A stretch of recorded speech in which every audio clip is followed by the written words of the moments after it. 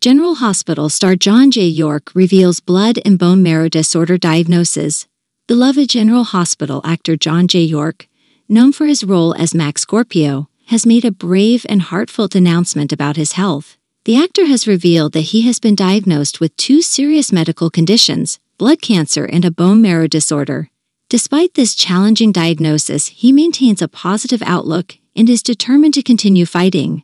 John J. York shared the news on his social media accounts, addressing his fans with a message of gratitude for their support throughout his career. He assured them that he is not saying goodbye and that he intends to keep moving forward with the same determination he's shown on screen.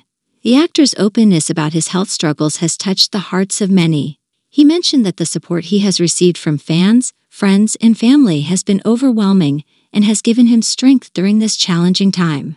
Blood cancer and bone marrow disorders are serious medical conditions that can be physically and emotionally demanding. However, John J. York's decision to share his journey with the public is an inspiring testament to his resilience and determination.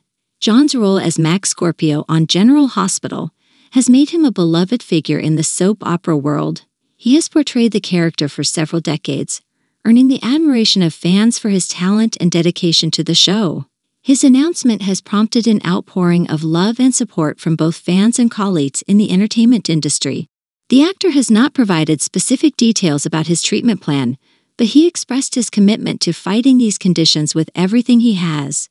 This spirit of determination and positivity is a testament to his strength. While the news of John J. York's health struggles is undoubtedly a challenging moment for him and his loved ones, his decision to share his journey with the public is a powerful reminder of the importance of resilience and the value of support from friends, family, and fans.